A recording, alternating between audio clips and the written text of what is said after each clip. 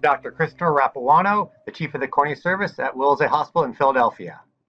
Hi, I'm uh, Clark Chang, uh, Director of Specialty Contact Lenses at uh, Cornea Service at Wills Eye Hospital. And we're very glad to have the opportunity to speak to everybody today about one of our favorite subjects, and that is the uh, some of our uh, contemporary keratoconus treatment management that we heavily utilize in our in our center. And uh, just financial disclosure to start, want everybody to know that we do some consulting work, uh, both of us for Avedro, and then rest of my uh, financial disclosure, as you can see, is up on the screen. Uh, and so I'm going to have Dr. Rapuano now lead us into the lecture with uh, one of the uh, one of the case that he has seen recently. Okay, let's start off just a typical case that any one of us could see pretty much at any point in time. 16 year old boy, about two years ago, he noted um, his vision in the right eye was poor when looking through a microscope at school. That's often the way it is with one eyed vision loss, where people won't really notice until they end up covering one eye or just looking through one eye. That's common presentation. The glasses, they helped, but he needed stronger glasses every four to six months. And now, at this point, the glasses are not really helping that much.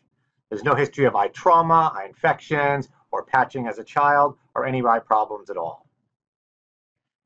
So on examination, his vision without glasses was 2080 on the right, 2025 on the left. With glasses, he only corrects to 2060 on the right, corrects very nicely to 2020 on the left.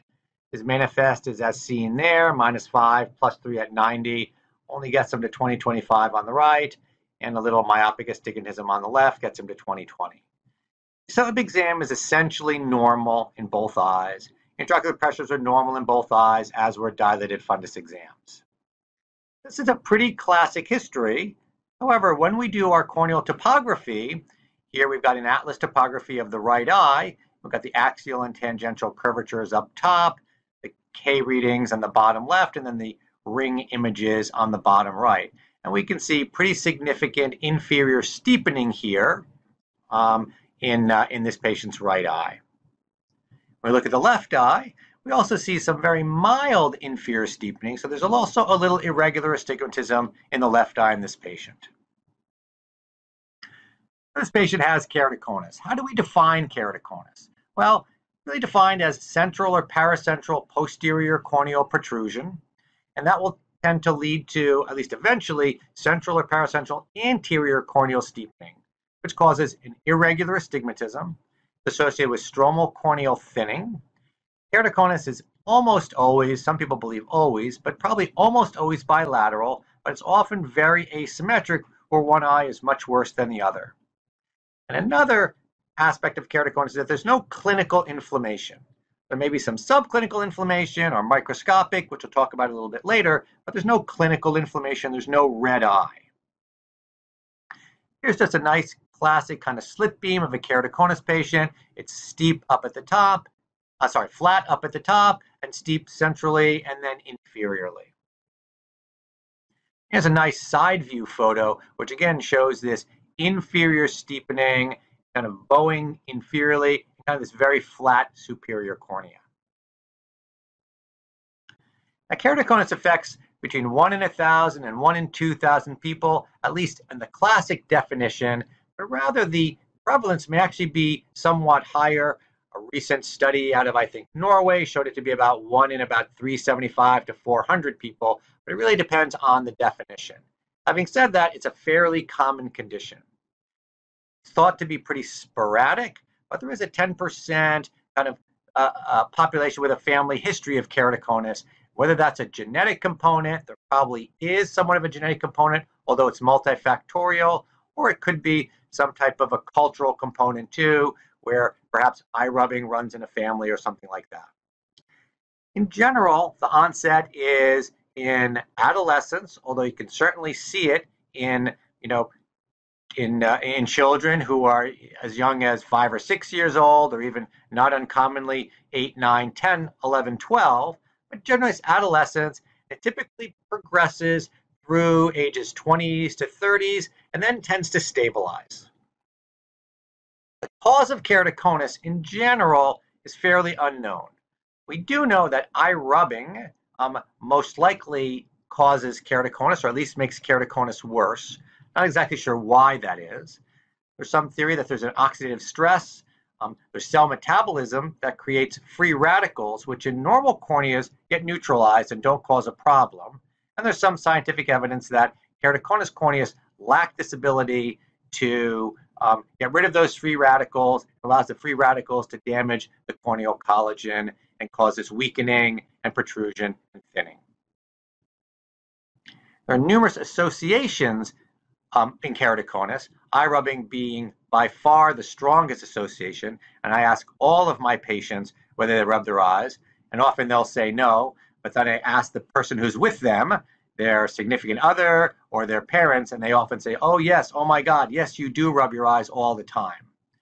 So we'll talk about it later, but the biggest piece of advice I give to patients and family members is the patient needs to stop rubbing their eyes.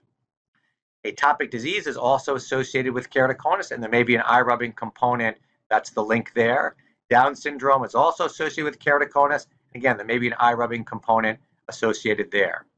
Leber's congenital amaurosis, Ehlers-Danlos, osteogenesis imperfecta, some other connective tissue disorders, connective tissue disorders may also be associated, although those are pretty rare.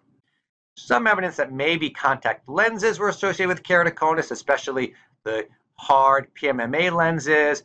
Having said that, it's unclear whether they had the keratoconus and that's why they got their lenses. So it's unclear whether there's an association there. There are two very strong other associations that I examine all patients and ask patients about, which is floppy eyelid syndrome and sleep apnea. Um, so if patients do have symptoms of sleep apnea, I recommend that they see their primary care doctor um, for diagnosis and treatment, perhaps with a sleep study. The typical course of keratoconus, as I mentioned earlier, usually starts around ages, you know, 10, 12, and diagnosed up to maybe 25, maybe a little bit older.